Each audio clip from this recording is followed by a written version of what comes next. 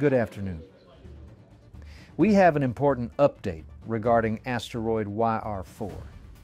There is now a 100% chance that YR4 will enter Earth's atmosphere, and we believe it will impact somewhere in the Pacific Ocean.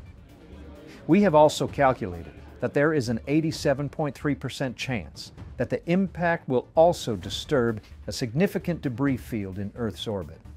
Based on our models, there is a 34% probability of the ISS being destroyed. The combined force of these impacts will generate a chain reaction of cascading failures. The redistribution of mass in low Earth orbit will create a gravitational anomaly affecting the Moon's trajectory. We estimate an 87% chance of the Moon beginning to shift toward Earth.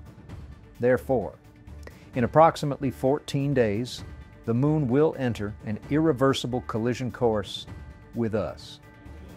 In light of these findings, we are officially updating our projections to a 320.2% chance of we're fucked.